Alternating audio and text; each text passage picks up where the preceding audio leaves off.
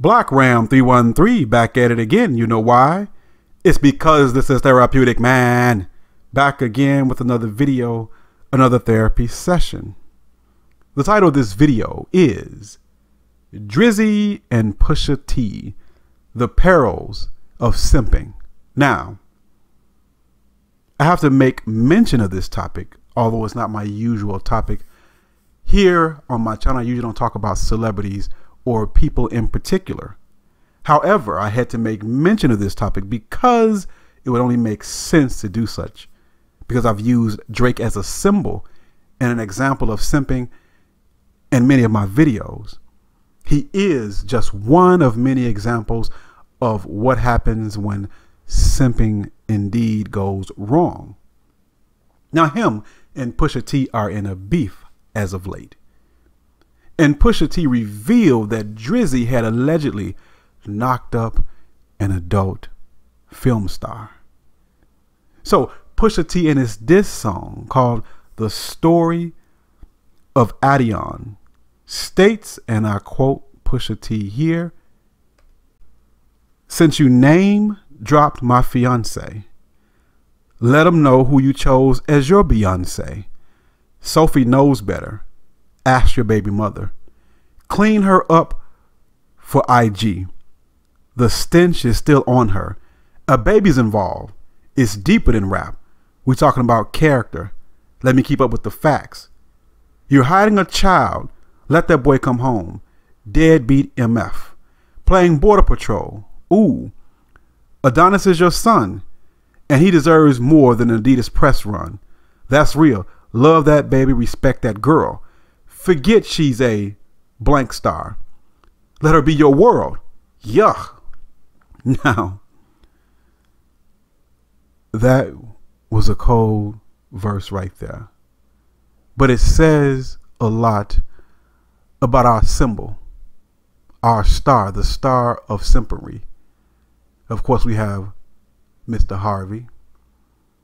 But Drake, not to really poke fun of him, but he is an example of how successful blue pillars will have their legacy diminished and their bank accounts emptied because of their blue pill way of thinking.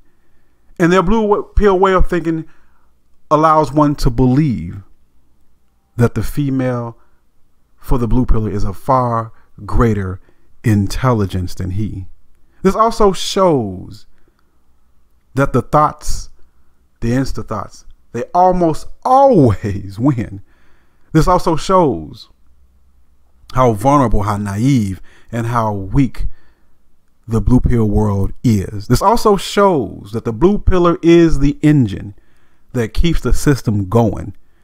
Where would all of the insta thots be without the simp to crave them and to save them? Drake with his millions, he's going to have to pay some of those millions to a thotty for 18 years or better to pay millions for what others have got for free or at a substantially substantially lower cost than he.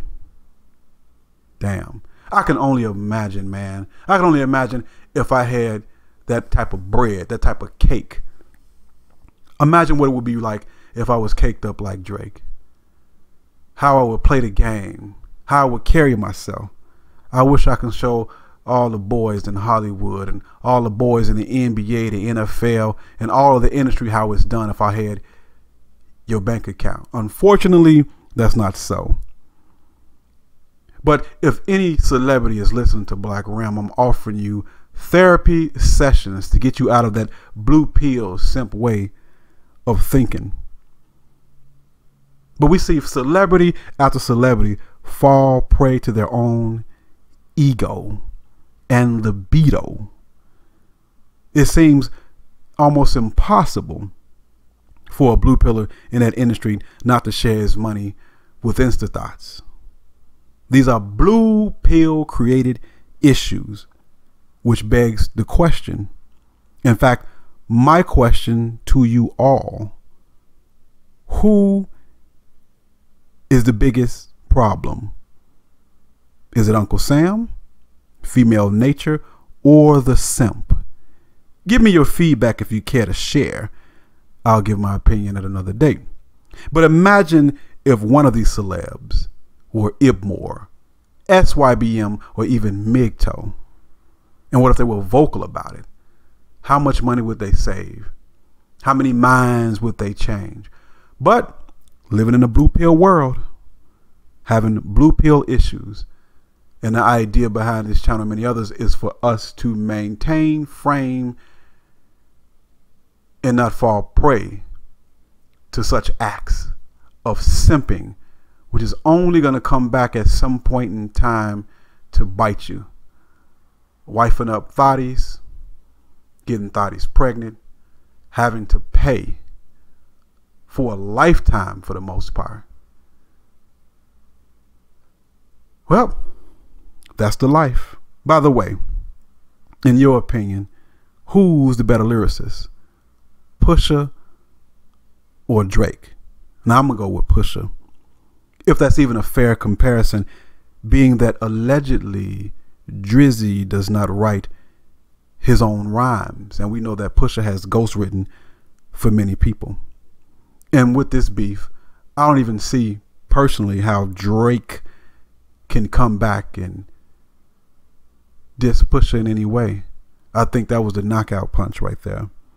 I mean, that's a lot of heat. In fact, I haven't heard such heat since uh, Jay Z talked about AI and AI's baby mama in a car seat, if you know what I mean. But these are the lessons that we can gather. These are the examples of what we talk about here in the red pill in the manosphere. We see examples every day. And again, since I use Drake as an example so much, I thought it was necessary for me to at least give my two cents on what's going on there. Um, again, I believe Pusha T is an excellent lyricist. Um, I don't find many beefs entertaining, but I have to say, when the blue pill world is mocked and we see evidence of such mess that comes from the mind of the blue pillars, how thots always win over the blue pillars. And when I say that it's her time to shine, I'm not talking about us red pillars. But remember, most of the world is blue pill. We run at 98%.